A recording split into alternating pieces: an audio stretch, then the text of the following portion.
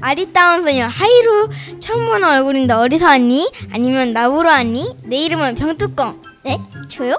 뭐야 겁나 이상한 사람이네 저기요 장난치지 마세요 미안 미안 내가 팬이 워낙 많아서 사인해 줄까? 뭐지?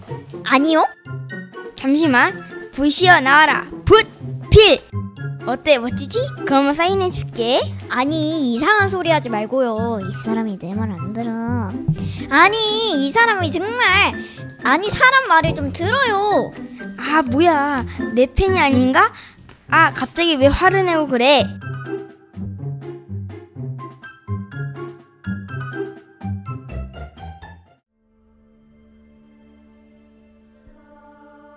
여기는 신이 되는 수능 시험을 보는 곳이다.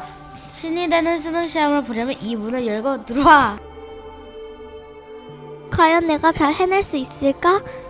그 그냥 신이 될 순 없나요? 무슨 말도 안 되는 소리 신이 되려면 수능 시험의 고난을 느껴야 한다. 각오도 별로 없는데 어떻게 신으로 졸업하겠다는 것이냐? 그래 여기까지 잘 왔잖아. 이 수능 시험만 통과하면 내가 원한다면 도전해봐 포기하지 마 그래 녀석의 말대로 도전해 보는 거야. 수능 시험에서 떨어지더라도.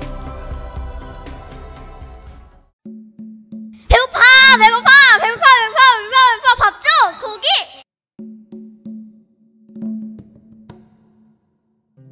뭐야 배고프면서 이 엄청난 힘이 어디서 나오는 건데? 우와 내가 어떻게 알아? 너한테 안 물어봤어. 으아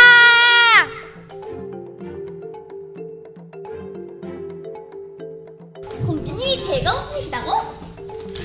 으, 밥을 지어줘야 하는데 일단은 안 되겠다. 짬을 놔.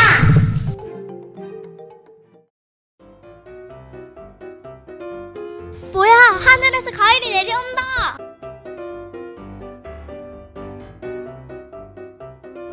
내, 내가 구해왔음. 아 오케이 오케이. 많이 먹어라. 용 용아 너 안 먹냐? 난 미리 먹어. 조심히 먹어라. 코 껍질이 목에 걸렸어. 내 말이 맞지? 천천히 먹으라고. 아니거든 조심히 먹으라고 했거든. 그거나 그거나.